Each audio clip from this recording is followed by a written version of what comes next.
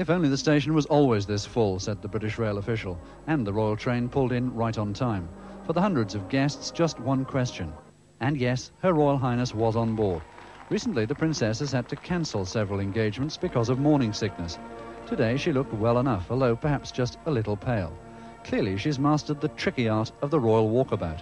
This time, the talk turned to the going rate for the Tooth Fairy. Big fairy come along. Give you 50p or 25? Quite right. The people of York turned out in their tens of thousands on a sunny morning. And in what's become an instant tradition, there were gifts and flowers by the basketful, more than enough to weigh down a posse of policewomen. All traffic had been barred. They needn't have bothered. No one was moving. Least of all, the 746 bus to Hull. But no one seemed to care too much about that.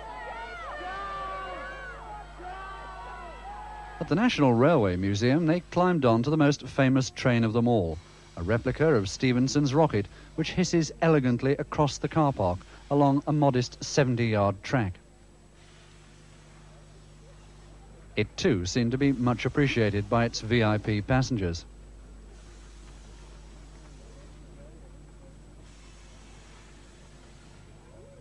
And would they be riding on the smallest royal train of all? Prince Charles seemed keen enough. "Hmm, perhaps not, said the princess. And off he went without her.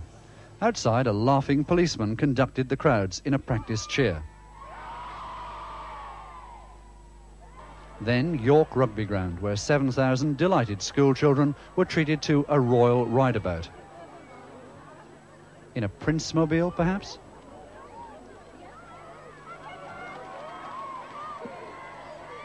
Chesterfield was next with its famous twisted spire and Prince Charles at the controls of a Wessex helicopter. Below them, the crowd made a stunning sight 80,000 people waiting just for a glimpse. Among the flowers and now booties and mittens, some Morris men proffered a fertility symbol to Prince Charles. You can keep the bloody thing now, he laughed. And the royal reaction to all this? What a welcome, they said. And indeed it was. Ken Rees, News at 10, Chesterfield.